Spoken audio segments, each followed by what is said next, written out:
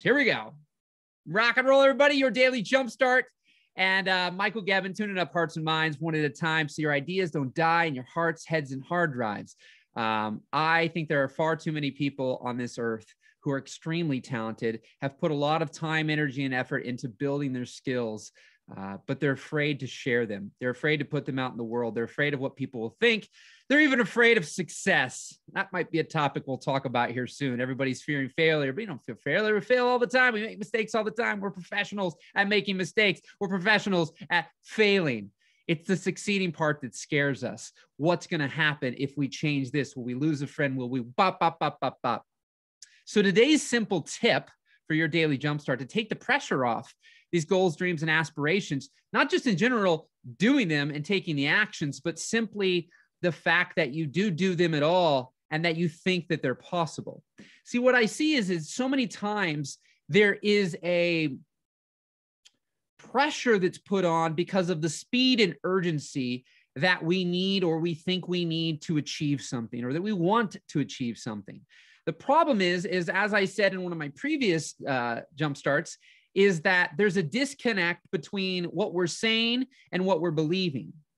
And so you join the, the 30 day, you know, challenge, you know, make 10K in 10 days or whatever.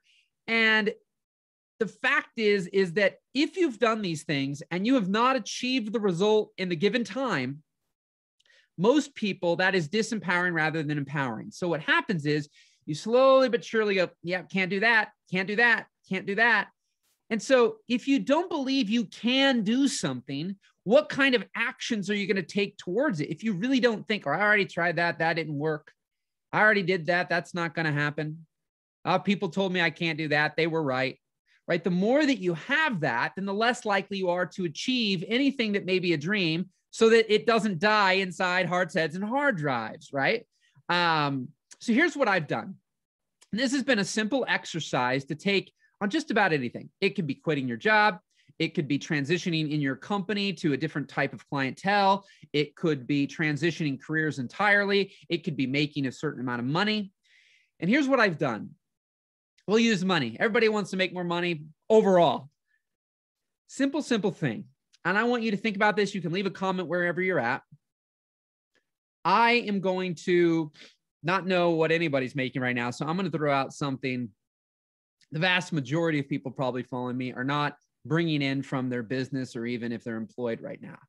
And that's $500,000. Because some of you, if I said 30 grand, I mean, I'd be a lot of you already making that.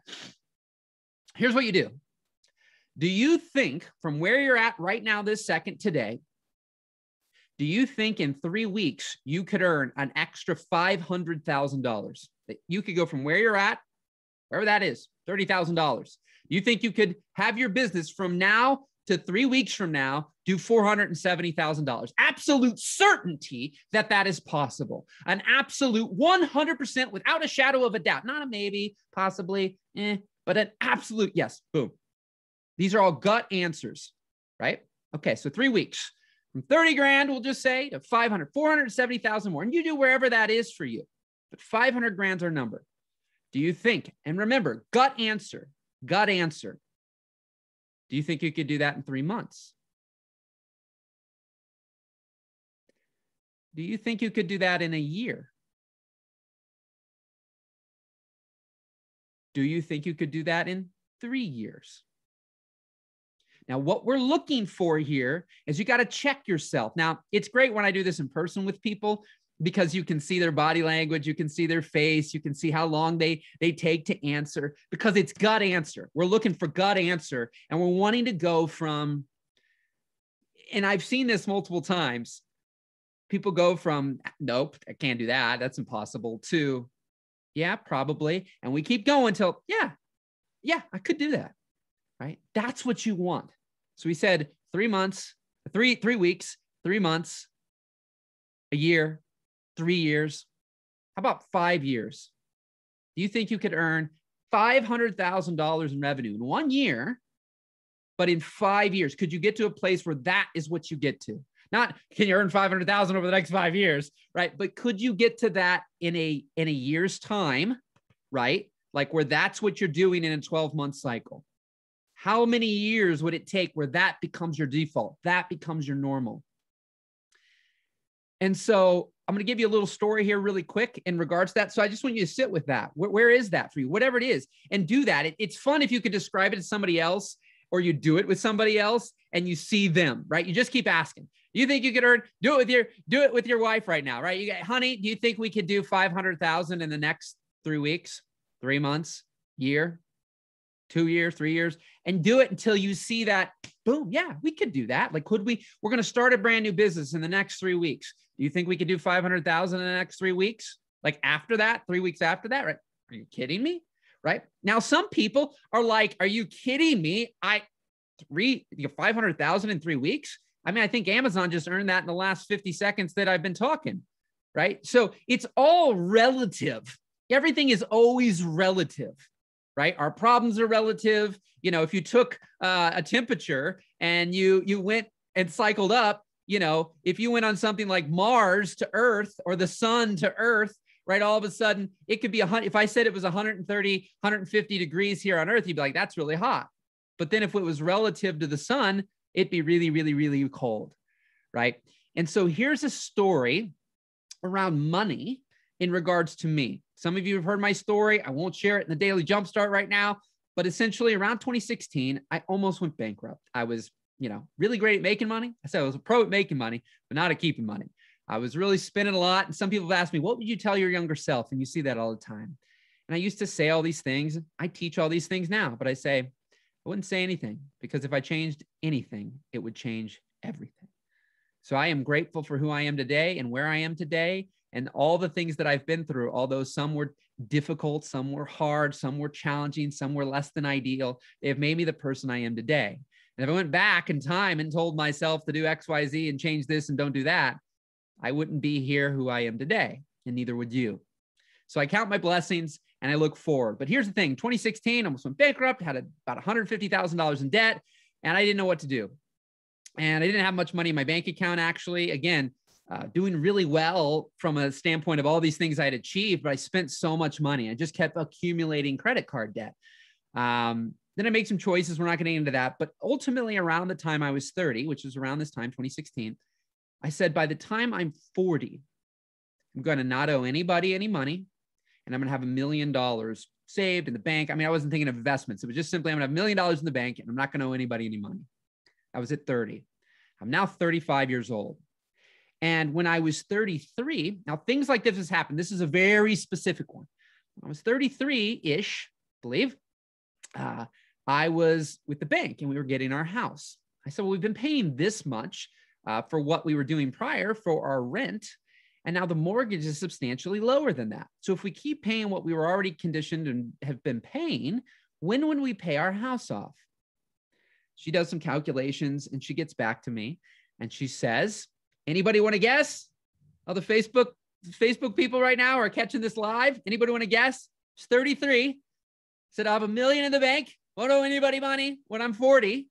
This was totally serendipitous, synchronicity, just simply Maybe coincidence, maybe not. I'm 33, getting a house.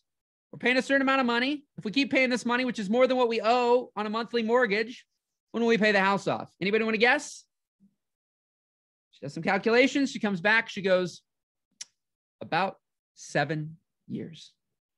And I look to my wife and I'm like, honey, are you kidding me? Like I knew this that I had kind of I've been telling this story. Now maybe if I told the story and believed it in 3 weeks it would have happened faster. But until you are really really really really really practiced at this, right? And conditioning yourself to go from maybe pessimistic to optimistic, right? From non-believer to believer of something. It's interesting because those types of things kept popping up. But it took the pressure off because it took the pressure off, I have more ease, I have more fun, I have more joy. Plus, I just simply made it possible. Because if we're always starting with impossible, our actions and behaviors will sync up to impossible. Most of us, not everyone, but a lot of us. So I want to take something from impossible to possible. And that for me has just been the simple practice of taking something like that.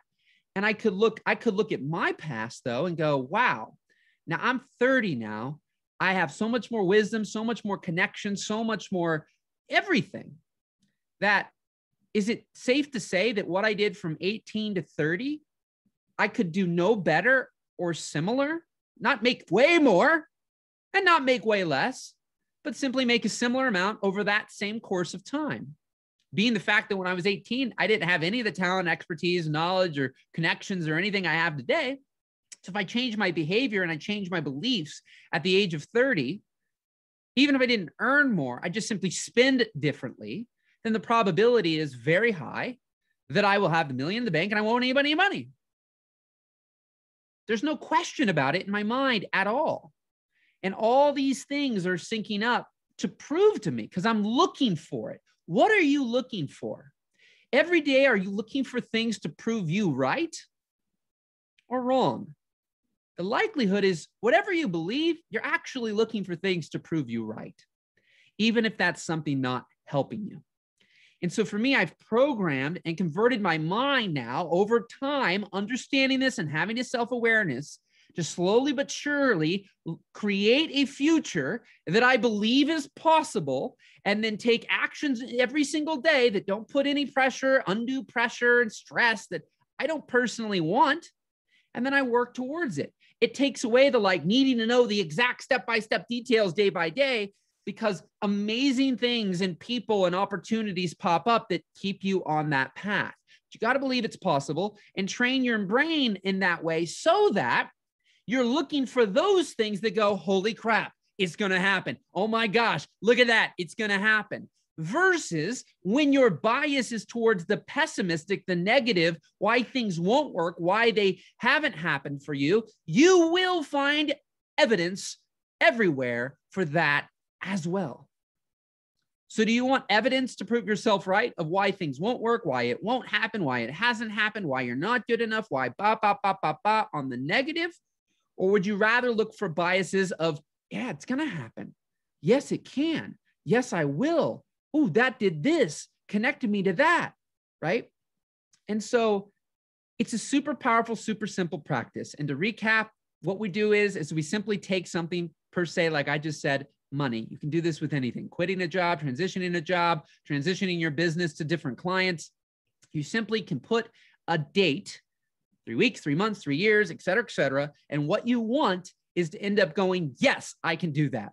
Absolutely, no questions asked. If you're saying, could we do this in three weeks? And you can't get yourself to just gut answer, absolutely yes, then keep moving on. Could it happen faster than if you're like, wow, wow, it's going to take five years? Well, the problem is, my friend, even if you're like, wow, I want it to happen so much faster, guess what's going to happen? Time's going to pass, five years are going to pass, and you will be nowhere closer. And you could start this exercise then and then finally believe it, and it still take five more years. Now you're at 10.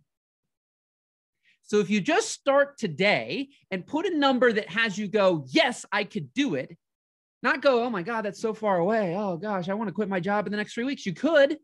Everything comes with consequences.